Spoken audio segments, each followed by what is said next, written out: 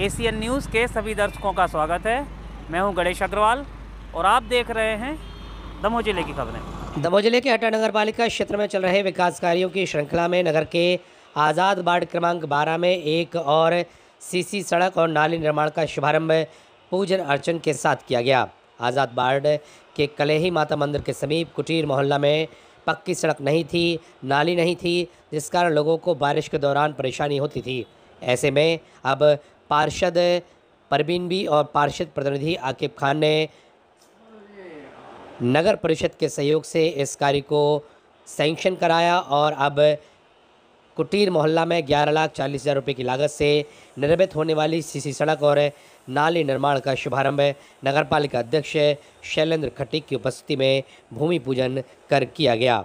इस दौरान सभी जनप्रतिनिधि एवं स्थानीय लोगों की बड़ी संख्या में उपस्थिति रही। Bureau report Asian news.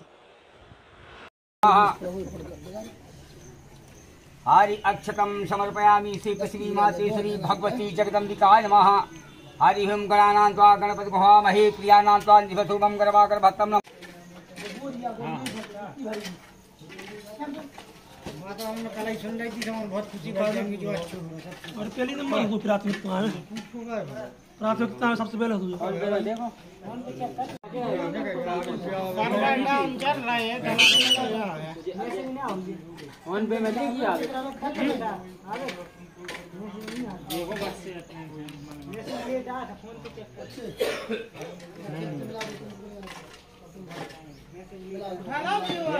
है ना?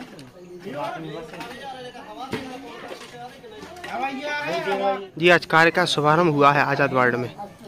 आज हमारे आज़ाद वार्ड पार्षद प्रतिनिधि आकिब भाई को मैं बधाई देना चाहता हूँ। उनकी सजगता को देखते हुए उनकी तत्परता जो उनने दिखाई है आज हम लोगों को हमें और हमारी परिषद को ऐसी जगह कार्य शुभारंभ करने का सौभाग्य प्राप्त हुआ है जहाँ पर ना तो बच्चों के लिए, ना माताओं, बहनों के लिए, ना बूढ़े बुज़ुर्गों के लिए यहाँ से निकलने की तक की व्यवस्था नहीं थी। सारा कच कच्चा रास्ता और पानी लबालब भरा हुआ रहता था। यहाँ ग्यारह लाख चालीस हज़ार रुपये में हम लोगों ने नगर परिषद से रोड डलवाने का जो वादा किया था चुनाव के पहले, आज उसको पूरा किया और आज यहाँ का काम का शुभारंभ किया। ये अभी तक सात सालों का जो पेंडिंग पेंडिंग काम पड़ा था, वो काम आज जाके वो चालू हुआ है और हमें बड़ी प्रसन्नता है कि हमारे अध्यक्ष और पार्षद की बड़ी मेहनत के कारण आज ये काम संभव हो- पाया। नगर पालिका बनते कुछ ही समय होगा और इतने जल्दी यहाँ का शीघ्र काम चालू हो गया।